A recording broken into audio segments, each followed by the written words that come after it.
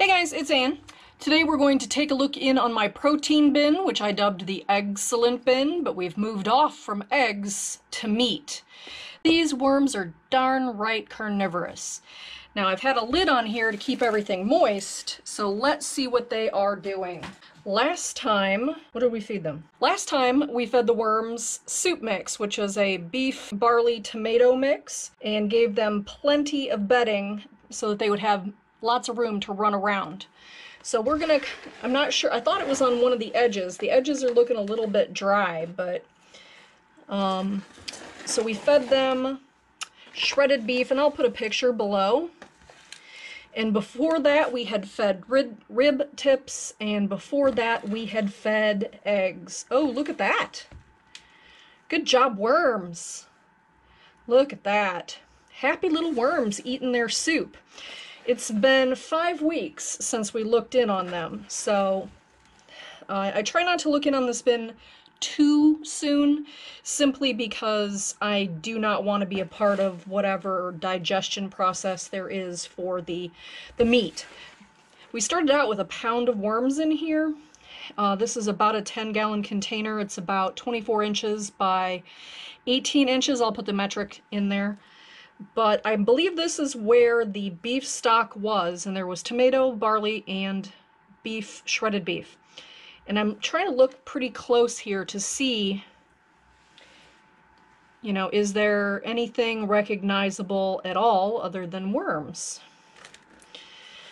And I'm not, I'm not seeing it, but I'm, I'm thinking there's more than a pound of worms in here now. What do you guys think? So one of the things that I wanted to go through were people's questions that they had about the um, bin that I'm doing here, where I'm kind of doing an experiment and feeding them protein sources such as eggs and meat. And one of the people, you know, asked, you know, do we have protein poisoning in here? Um, looking at every, not, I'm okay, I'm not pulling out every single worm, but looking at every single handful, I am not seeing any any sign of it at all. And the population does not appear to be going down, so I'm not having any kind of a die-off or anything. So what protein poisoning really is, is it's fermenting. Uh, if the worms eat something that ferments inside of them, then the gas blows up and turns them into like string of pearls. So that's not, I haven't seen any chance of this. And one of the ways that I do mitigate having any sort of problems in my bin is that when I feed them, I make sure that I give them a good size area where they can get away from it if it does heat up or if it does, I don't know, have some sort of pH problem or what have you. I'm going to take some of this upstairs and do a pH on it and I will insert that right now. Okay, so what I have here is some universal pH test paper. I just get that on Amazon. And what I have here is some castings that I put in some deionized water and I have been letting them sit and, and sloshing them all over place apparently. And then what I'm going to do is I'm going to test the pH of the solution here. And how you do that is you go and you get it wet in there for a very briefest second. All right, so looking, looking at the pH here, this appears to be about six and a half. And just in case you were wondering, let's say what the African night crawler's pH is, I will show you that as well just to show you that it's it's not any different. And so here we are back at the little box here and it is almost exactly the same as the other one. Let's see if I can get the colors to line up here for you so you can see them right next to each other. So not quite 7, but just below 7. In the comments, I have been very surprised to see how many people have reached out and told me of all of their times where they fed uh, their worms meat or the similar. Uh, one person said they fed their worms a pastrami sandwich, and uh, didn't even miss a beat. Lots of people have fed chicken bones and um, other kinds of meat, and some people just have been feeding meat all the time and never even gave it a thought, didn't know it was even a bad idea. So, although I thought this was quite the avant-garde experiment, apparently people have been doing this for quite some time. So today, what we have got going on is we're going to move the worms over And since they did manage to eat every single bit of what we fed them last time, I'm thinking maybe there's just a larger population of worms in here now and that they could use larger feeding. So I am going to get them some bedding. Here we go.